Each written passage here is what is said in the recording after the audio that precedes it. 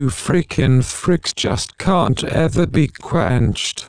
Your your fantasies can never be quenched. Can they? You freaking fricks. When will you learn?